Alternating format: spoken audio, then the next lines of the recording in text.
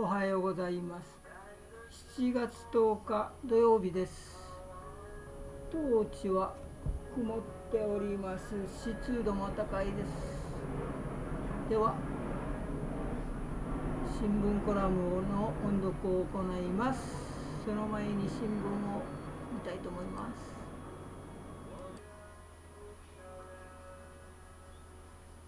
はい。新聞7月10日。熱海土石流1週間安安否不明20名死者9名。盛り土排水設備なしか。複合要因で被害拡大。こちらは中国デモ不参加を強要。自由強権の。日本の内モンゴル出身者に。親族を刑務所に脅迫。五輪は有観観客6会場北海道一点無観客に合意継承順位結論見送り。広人様ご即位以降。では三景名の音読を始めます。その前に三景名の表題は次のように決めました。自民党リベラルの方向になるクエスチョンでは音読します。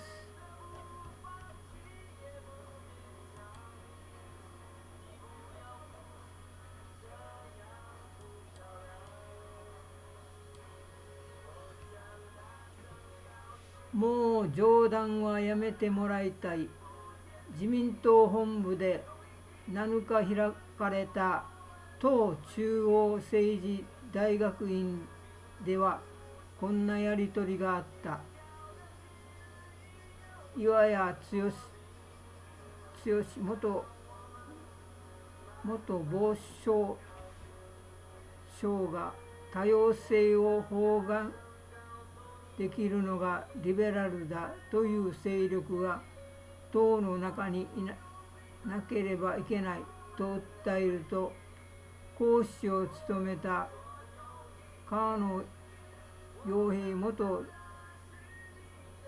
党総裁が応じた涙が出るほど嬉しい。岩谷氏はリベラル派として知られ河野氏は根拠なく違反不募集の強制性を認めた河野官房長官談話の作り手で日本の謝罪外交の根拠となった村山富一首相談話にも関わった。政治大学院の中谷源学院長元防衛省もまたリベラル派である。今や自民党はリベラル花盛りに見える。自民党が昨年来党を二分二分して熱心に議論してきたテーマは何か。新たな感染症の猛威に備える緊急事態条項盛り込みなど。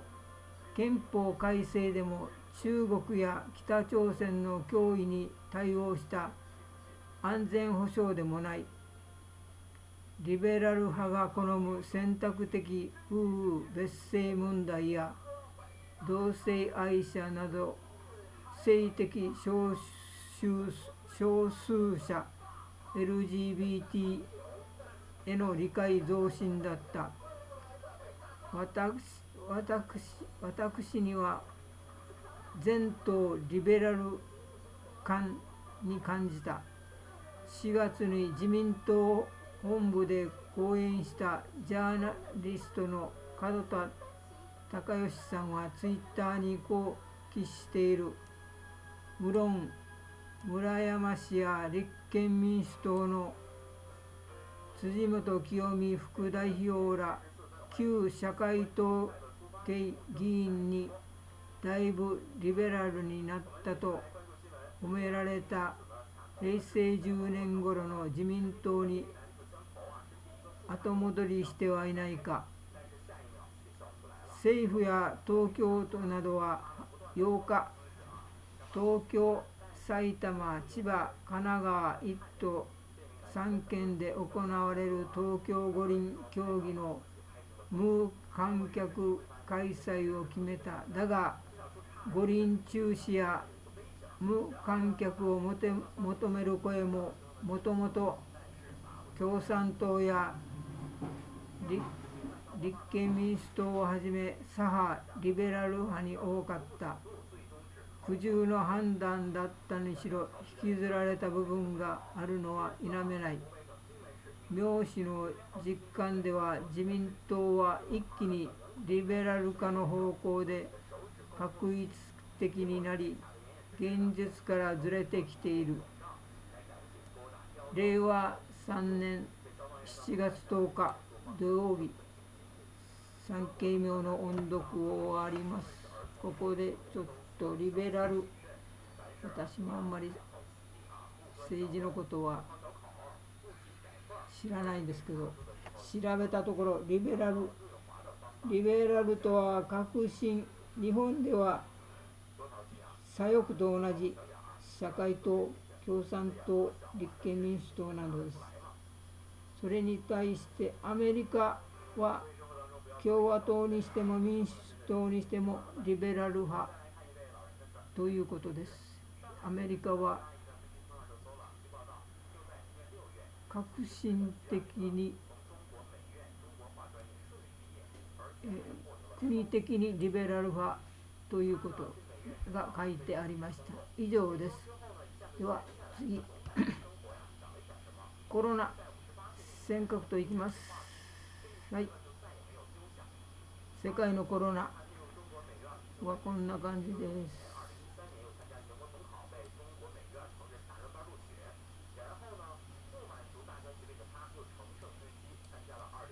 こちらの横の記事は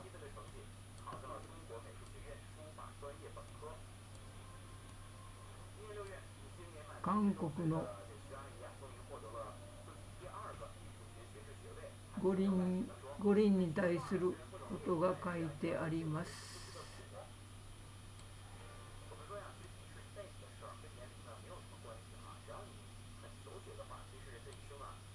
ムン・ジェイン大統領五輪開会式に出席するという2018年の平壌五輪には当時の安倍晋三首相が来たのだからこれは不思議ではない。ということが書いてあります。次は尖閣。ああまあ国内ですね。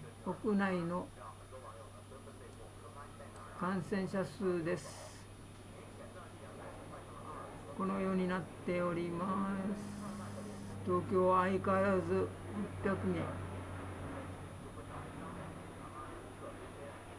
こちらは聖火が東京に到着したということです。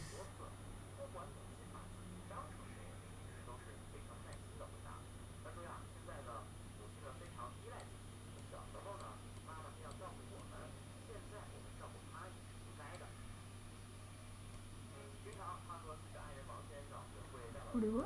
えっ、と八王子。7月23日開会式。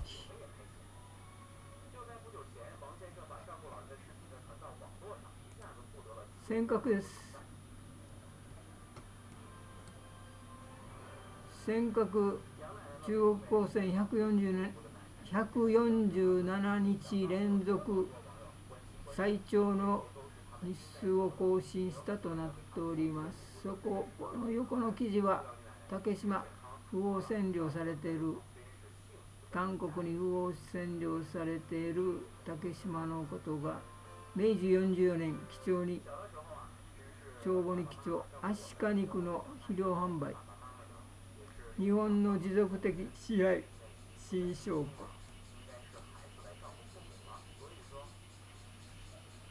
です。本日もありがとうございました。またね